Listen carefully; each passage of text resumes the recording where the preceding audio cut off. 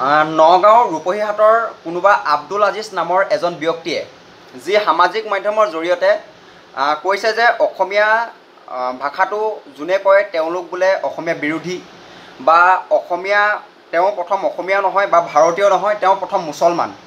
সেই কথা এই যোনজন আব্দুল আজিজ নামৰ ব্যক্তিজনে কৈছে তেওঁক আমি প্ৰথমে তীব্ৰ ভাষাৰে গৰিহণা দিছোঁ আৰু তেওঁক আমি সকীয়াই দিব বিচাৰিছোঁ যে আগন্তুক দিনত যাতে এনেকুৱা আপোনালোকে তৰল মন্তব্য নকৰিব।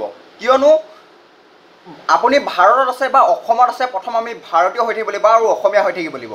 তাৰ পাছত আপোনালোকে যদি নিজকে মুছলমান বুলি ভাবে তেনেহ'লে পাকিস্তান যাওক বাংলাদেশ যাওক কোনোবা আৰৱ দেশলৈ যাওক তাত আমাৰ ক'বলগীয়া কোনো নাই।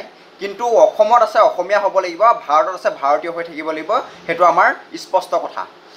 আৰু এনেকুৱা তৰল মন্তব্য ভৱিষ্যতে নিদিব বুলি আমাৰ আমি আশা ৰাখিলোঁ। আৰু যদি দিবলৈ হয় তেনেহ'লে সেইটো ব্যৱস্থা পিছত লোৱা হ'ব।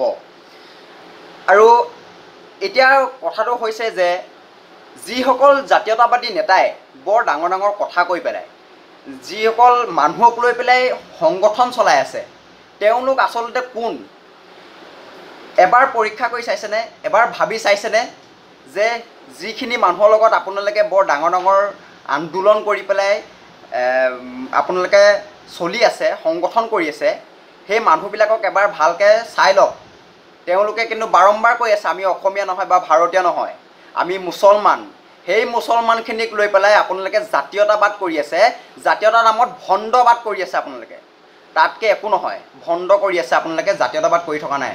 এবাৰ আপোনালোকে ভালকৈ ভাবি চাওক যে জাতীয়তাবাদ প্ৰকৃততে আপোনালোকে কৰিছেনে নাই কৰা। সেই মানুহখিনিক এবাৰ আঁতৰাই পেলাই আপোনালোকে জাতীয়তাবাদ কৰি চাওক। কিয় সেই মানুহখিনিৰ লগত আপোনালোকে জাতীয়তাবাদ কৰি আছে? যি মানুহখিনিয়ে অসমীয়া নহয় ভাৰতীয় নহয় অসমীয়া ভাষা ক'ব নালাগে অসমীয়া ভাষা ক'লে বোলে মুছলমানখিনি অসমীয়া ভাষা ক'লে বোলে বিৰোধী কি কথা কৈছে? সেই ক সেই কথা কোৱা মানুহখিনিক আকৌ আপোনালোকে জাতীয়তাবাদত সোমোৱাই লৈ পেলাই অসমখন বচাবলৈ চিন্তা কৰি আছে। অসম বচাব নোৱাৰে অসম গুচি গ'ল আপোনালোকৰ হাতৰ পৰা। অসম আপোনালোকে এতিয়া বচাব নোৱাৰে। আপোনালোকে ৰাজপথত এতিয়া চিঞৰ কৰি একো লাভ নাই। আপোনালোকৰ আন্দোলনত আপোনালোকৰ চিঞৰ বাখৰত অসম এতিয়া অসমীয়াৰ হৈ নাথাকে।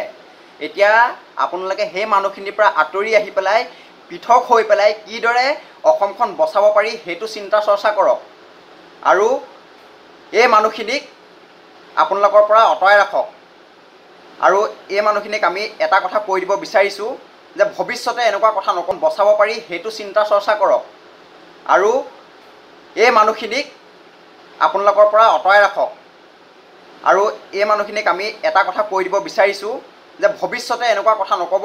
আৰু আপোনালোকে যদি যাব বিচাৰিছে পাকিস্তান যাওক বাংলাদেশ যাওক আৰৱ যাওক আৰু কিবা ইছলামিক ৰাষ্ট্ৰ আছে ক'ৰবালৈ যাওক কোনো কথা ক'বলগীয়া নাই। কিন্তু অসম তথা ভাৰতবৰ্ষত যদি এনে মন্তব্য কেতিয়াবা দিবলৈ হয় ভুলতো যদি দিবলৈ হয় তেনেহ'লে কিন্তু আপোনালোকৰ দৃষ্টান্তমূলক শাস্তি আমি প্ৰদান কৰিবলৈ বাধ্য হ'ম। কিয়নো আপোনালোকে সম্পূৰ্ণ দেশদ্ৰোহী জাতিদ্ৰোহী আপোনালোকে কথা কৈ আছে বাৰম্বাৰ কৰি আছে বাৰম্বাৰ আমাক আঘাত দিবলৈ চেষ্টা কৰি আছে।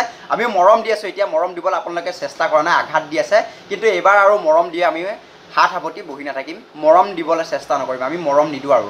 বহুত দিলোঁ মৰম তাৰ বিনিময়ত আমি পালোঁ আঘাত।